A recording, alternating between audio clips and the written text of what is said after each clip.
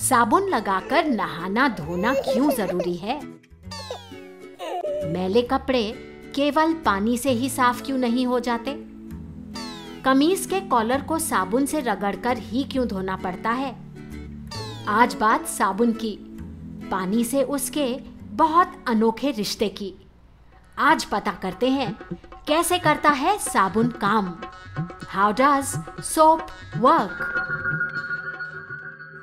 दुनिया में कितनी तरह के साबुन मिलते हैं? हाथ धोने के, नहाने के, बर्तनों के लिए अलग, कपड़ों के लिए अलग। असल में मानव ने बहुत साल पहले ही साबुन बना लिया था।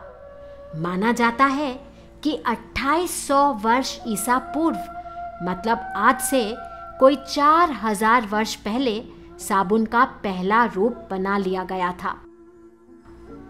वो था पशुओं की चर्बी और राख का मिश्रण। अब ये तो नहीं मालूम कि उस समय पता था कि नहीं कि ये मिश्रण साफ़ क्यों करता है, लेकिन इसे प्रयोग ज़रूर किया जाता था। आज हम समझेंगे साबुन कैसे करता काम। साबुन का काम तो चीज़ों को साफ़ करना है। इसे समझते हैं साबुन की बनावट समझकर। साबुन के अणु को अगर देख पाते तो दिखता कुछ ऐसा। एक लंबा अणु, जिसकी एक तरफ़ सिर, दूसरी तरफ़ दुम। मज़े की बात ये कि साबुन की सिर वाली तरफ़ पानी को पकड़ती है, उसकी दोस्त। लेकिन दुम वाली तरफ़ को पानी बिल्कुल पसंद नहीं, वो उससे दूर रहती है। साबुन की दुम का दोस्त कौन? समझने के लिए एक और प्रयोग। साबुन को पानी में डालो तो वो घुल जाता है। साबुन को तेल में डालो तो भी वो घुल जाता है।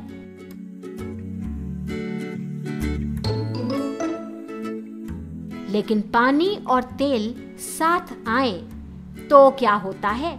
पहले डाला तेल और फिर डाला पानी। तेल तुरंत आया ऊपर और पानी नीचे। पानी और तेल में जरा भी दोस्ती नहीं। दोनों एक दूसरे से अलग ही रहते हैं और यही है मुसीबत। सारा मैल शरीर पर, हाथों में, कपड़ों में या बर्तनों पर। सब मैल होता है तैलीय, चिकना। सिर्फ़ पानी से धोएँगे तो भला साफ़ कैसे होगा? साफ़ करता है साबुन और कैसे करता है?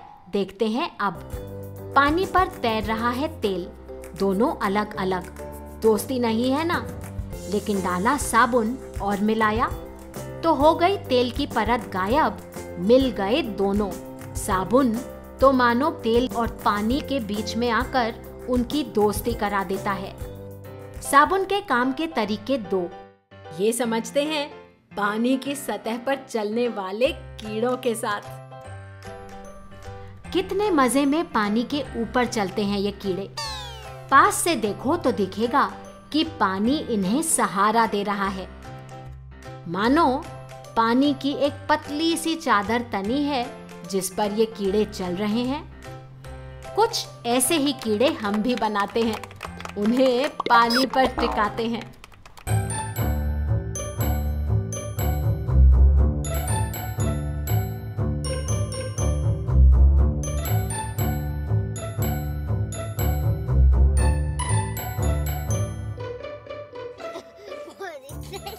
पानी की सतह पर सुई और यूपिन तक तैरा सकते हैं हम। इसका कारण है पानी का पृष्ठ तनाव। अंग्रेज़ी में सरफेस टेंशन पृष्ठ तनाव बनता है पानी के अणुओं मतलब वाटर मॉलिक्यूल्स के आपसी आकर्षण से। और ये आकर्षण होता है पानी के अणुओं के ध्रुवीय होने के कारण। पानी के अणु ध्रुवीय क्यों? इस बात को अच्छी तरह समझने के लिए देखें वीडियो पानी अनोखा अणु साबुन कैसे करता काम। इस बात को समझने के लिए इन कीड़ों की बात क्यों? जानते हैं साबुन के ही साथ।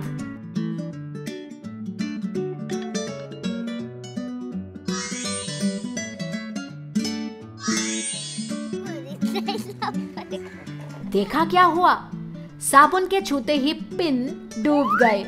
असल में पानी का पृष्ठ तनाव सहारा दे रहा था पिन को। साबुन लगाते ही पृष्ठ तनाव कम हुआ और पिन पहले दूर गया, फिर डूब गया। यही है साबुन की खूबी। वो पानी के कणों के बीच का आपसी आकर्षण कम कर देता है। कम हो जाता है पृष्ठ तनाव। और इसी खूबी का रिश्ता साबुन के मैल हटाने की क्षमता से। साबुन पानी के अणुओं के बीच का आकर्षण कम कर देता है, जिससे पानी का पृष्ठ तनाव मतलब सरफेस टेंशन कम हो जाता है। इससे साबुन के अणु कपड़े के हर रेशे तक पहुँच जाते हैं। दूसरा, साबुन के अणु का पानी से दोस्ती करने वाला सिर तो पानी के कणों से जुड़ता है। और उसका दुम वाला हिस्सा करता है तेल से प्यार। तो दुम पकड़ लेती है तेल को, जिसके साथ जुड़ा है मैल। बस, साबुन के एक तरफ़ जुड़ता है पानी, दूसरी तरफ़ तैलीय मैल। साबुन के अणु असल में मैल के हर एक कण को घेर लेते हैं। कुछ इस तरह।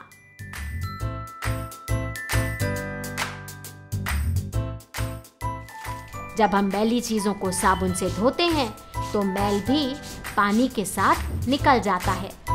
साबुन हमें साफ़ ही नहीं, स्वस्थ भी रखता है। दिन भर कितने कीटाणु हमारे शरीर पर जमा होते हैं। खास तौर से हाथों में, साबुन कीटाणुओं को धो डालने में मदद करता है।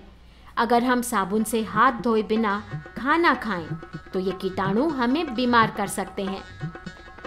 इसीलिए शौचालय जाने के बाद, खेल के बाद और कुछ भी खाने से पहले अपने हाथ साबुन से धोकर साफ़ करें, स्वस्थ रहें।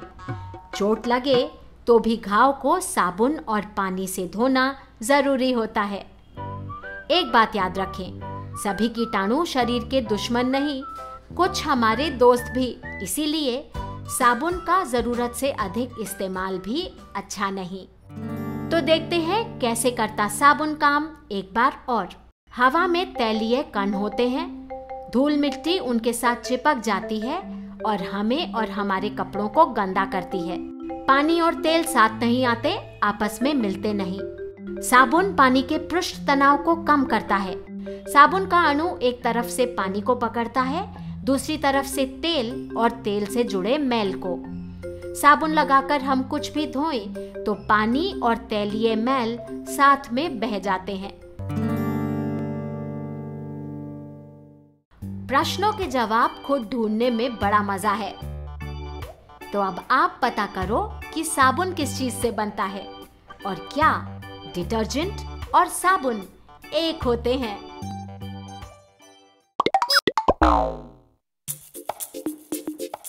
एक दूजे को वो ना भाए पानी और तेल। दूर रहे, कभी पास न आए पानी और तेल। बर्तन गंदे गंदे हाथ, कपड़े मैले ना हो साफ़, पानी यूँ ही बह जाए, अड़े गंदगी साथ न जाए। साबुन लेकिन बड़ा ही प्यारा, दोनों को ले आए साथ। एक तरफ़ से पानी पकड़े, दूजी ओर से तेल का हाथ। तीनों साथी बन जाए हाथ पकड़ कर बह जाए और हमको बनाए साफ़।